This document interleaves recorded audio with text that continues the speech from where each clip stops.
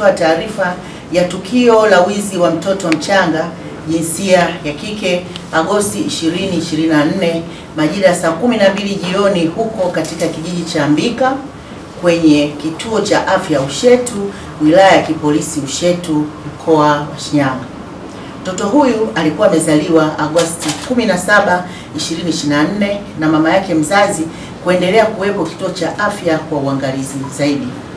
Taarifa za tukio hilo ziliripotiwa kituo cha polisi Nyamilangano mnamo Agosti 21, 2024. Mara baada ya kupokelewa kwa taarifa hizo, jeshi la polisi lilianza ufuatiliaji wa haraka ambapo ulifanyika na Agosti 22, 2024 majira ya saa tatu usiku askari polisi walifanikiwa kumkamata mtuhumiwa aitwaye Hadija Juma miaka 24 Mnyamwezi.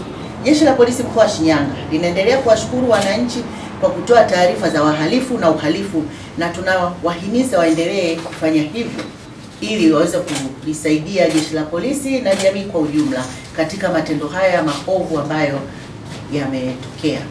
Mkazi wa kijiji cha Sengerema wilaya ya Uyui mkoa wa Tabora akiwa na mtoto huyo. Mtuhumiwa amehojiwa na kukiri kutenda kosa hilo. Tati, taratibu za kumfikisha mahakamani zinakamilishwa.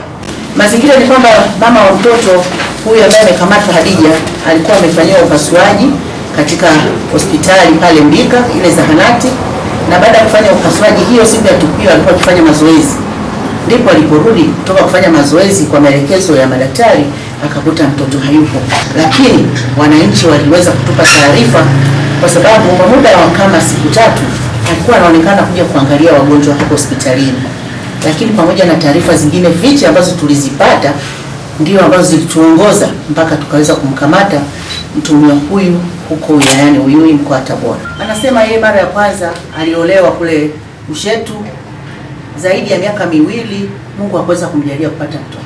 Ameenda tena huko alipokwenda Uyui, ameolewa hakupata mtoto, kwa akawa amepata tamaa ya kupata mtoto ili jamii ile upande wa mume waweze kumwona naye ana mtoto. Kwa hiyo hizo ni hisia zake yeye mwenyewe.